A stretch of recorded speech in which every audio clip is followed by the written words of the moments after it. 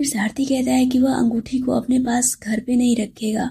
वह ऐसी जगह रखेगा जहाँ पर कोई भी नहीं पहुँच पाएगा।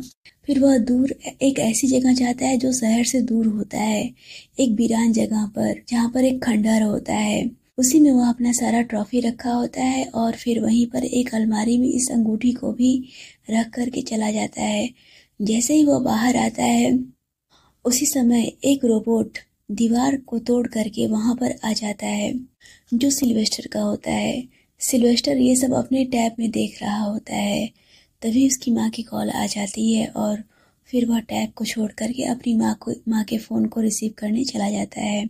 और फिर उसके दोनों असिस्टेंट फिर से टैब को लेकर के आपस में जग, लड़ने झगड़ने लगते हैं जिससे रोबोट का बैलेंस बिगड़ जाता है और जिसकी वजह से वहाँ वहाँ का पूरा सामान गिर जाता है। और अंगूठी का जो बॉक्स होता है, वह उसके सामने आ जाता है। और फिर जब सिल्वेस्टर सिल्वेस्टर आता है तो उसको वह बॉक्स दिखाई पड़ता है।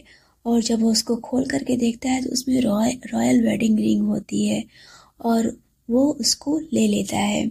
फिर वहाँ की सारी कीमती चीज़ों को रोबोट की सहायता से एक थैली में भर लेता है और फिर रोबोट को वहाँ से निकालने की कोशिश करता है।